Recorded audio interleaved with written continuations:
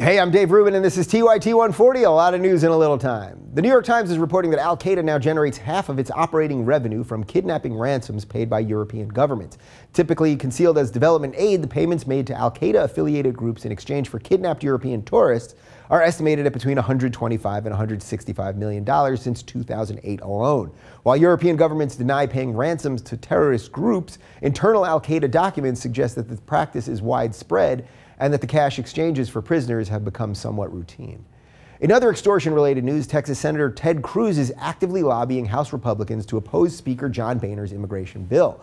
Boehner's legislation would add $659 million to federal agencies' budgets while making it easier to deport Central American minors who have entered the United States illegally. Cruz is insisting that Boehner add a provision to defund Obama's Deferred Action for Child Arrivals program, a suggestion Boehner has so far resisted.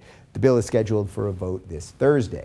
On the economic front, the U.S. economy rebounded strongly this spring following a dismal winter. The Commerce Department reported that the economy surpassed expectations by growing at a rate of 4% from April through June.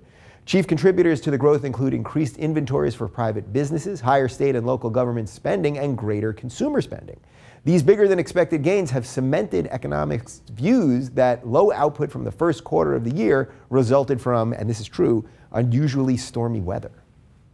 You know that $15 an hour wage that fast food workers have been demanding? It may be a little closer to reality today. That's because the National Labor Relations Board ruled Tuesday that McDonald's can be named as a joint employer in several complaints over worker rights at franchise owned restaurants. The decision could expose McDonald's to liability for illegal management practices in those locations. McDonald's will likely appeal the decision or, failing that, deflect blame for worker abuses onto the Hamburglar. And finally, guess who's entering into the debate over domestic drones? None other than America's top domestic expert, Martha Stewart. Writing in Time magazine, Stewart says she loves her new personal drone and mainly uses it for aerial photos of her property. Asked if any of her neighbors in the Hamptons found her drone flying overheard intrusive, Stewart said that she hadn't heard any complaints, although she later was seen fiddling with a remote control and muttering something about showing that asshole Diddy.